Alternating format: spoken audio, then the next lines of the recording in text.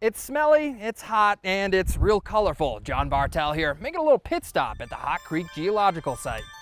In the shadows of Mammoth Mountain, remnants of an old volcano reveal itself below Hot Creek Gorge in Mono County. This whole caldera formed about 760,000 years ago, and this water is still forming now.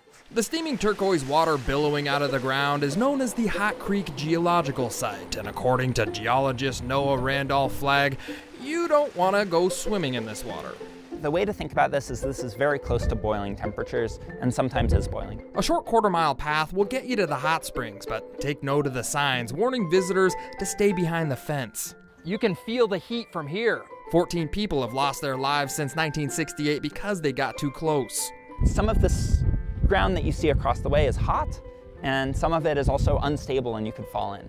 The bubbles and steam you see along Hot Creek drainage are created when snowmelt from the Sierra seeps down through cracks in the Earth's crust.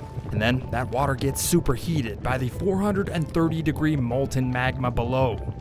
And the way that I think to think about this is that when you heat up water on the stove, it rises. As the heated water rises through the cracks in the earth, it picks up minerals like calcium carbonate, which gives the water its bright blue look when the sunlight hits it.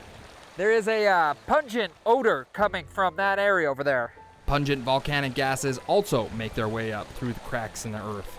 Hey, there's fish in there. The dangerous hot springs and hot creek are separate from each other. Fish and aquatic life can survive here because when the hot spring and the creek mix, it becomes lukewarm bathwater.